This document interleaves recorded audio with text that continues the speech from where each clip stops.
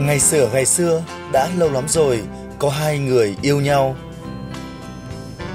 Chàng Phạm Minh Châu, tuổi rồng, sinh năm Canh Thìn 1940.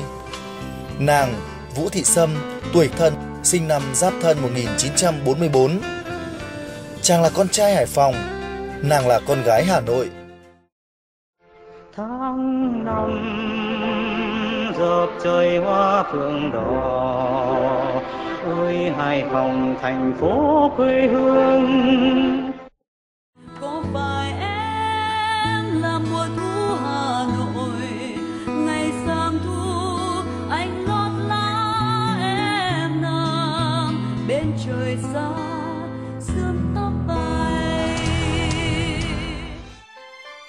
Chàng biết nàng khi chàng đã tốt nghiệp trường Trung học phổ thông Nguyễn Trãi trên phố Phan Đình Phùng.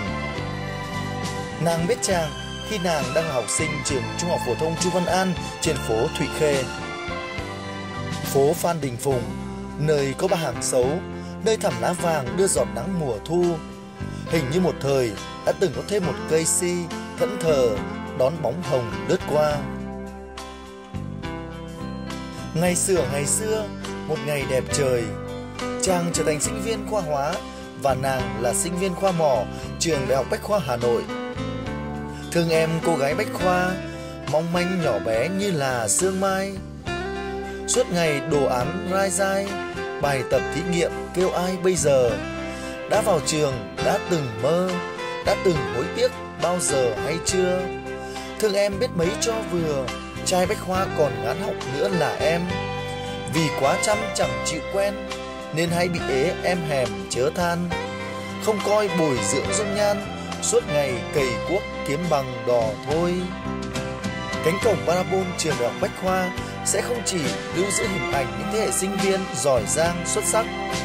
Đi qua cánh cổng parabol đó, lại một ngày đẹp trời. Những nam tài nữ sắc đó bỗng nắm tay nhau và nói lời ước hẹn trăm năm.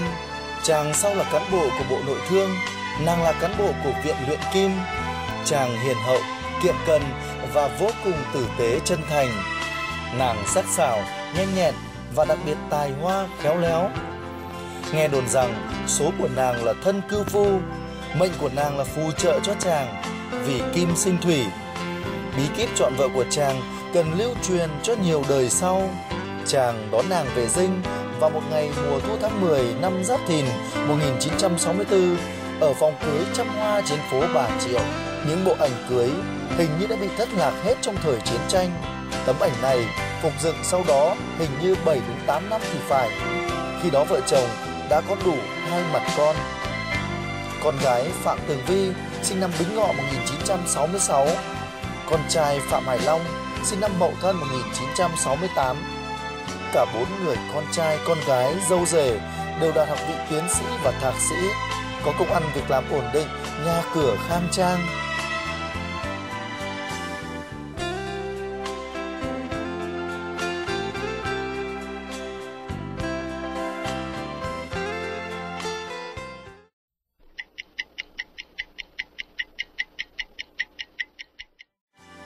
Trải qua 50 năm cần cù, vượt qua bao sóng gió gian nan trong cuộc mưu sinh, qua thời bao cấp chiến tranh, rồi thời kinh tế mở cửa hội nhập. Nay ông bà Phạm Minh Châu, Vũ Thị Sâm đã gây dựng được một số cơ ngơi đàng hoàng, cuộc sống sung túc. Ông và bà nay đã có được ba cháu nội ngoại trai gái.